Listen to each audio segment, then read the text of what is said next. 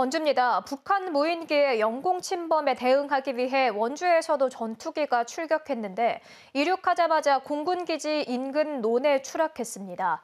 다행히 조종사 2명은 무사히 비상 탈출했습니다.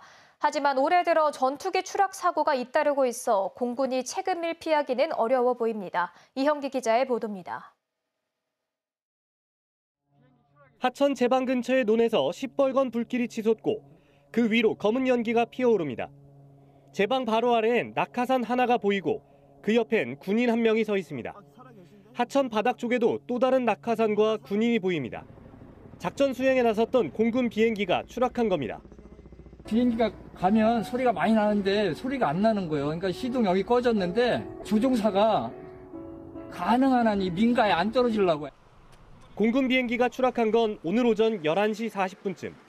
추락한 비행기는 공군 KA-1 기종으로 인근 제8 전투비행단에서 이륙하자마자 바로 추락했다고 공군은 밝혔습니다.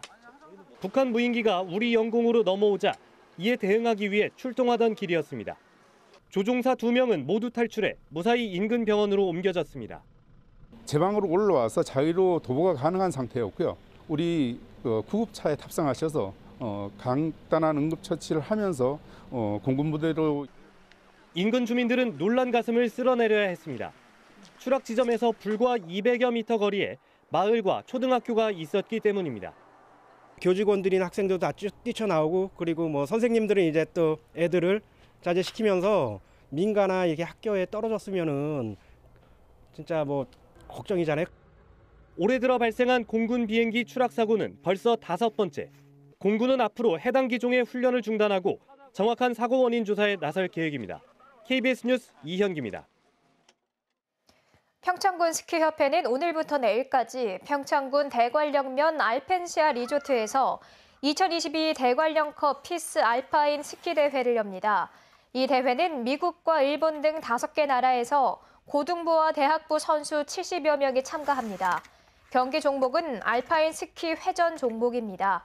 대관령컵 대회는 국제 스키연맹 FIS 공인 대회로 경기 기록에 따라 올림픽 출전에 필요한 점수를 얻을 수 있습니다. 더불어민주당 송기헌 국회의원은 폐쇄 위기에 놓였던 한국수출입은행 원주 출장소의 존치가 결정됐다고 밝혔습니다. 송기헌 의원은 기획재정부가 오늘 발표한 공공기관 혁신 계획 최종안에 한국수출입은행 원주 출장소 폐쇄에 따른 인력 조정안이 포함되지 않았다고 덧붙였습니다. 그동안 원주 지역 사회에서는 한국수출입은행 원주 출장소의 폐쇄 계획이 전해지자 지역 균형 발전에 역행한다며 반발해왔습니다. 지금까지 원주였습니다.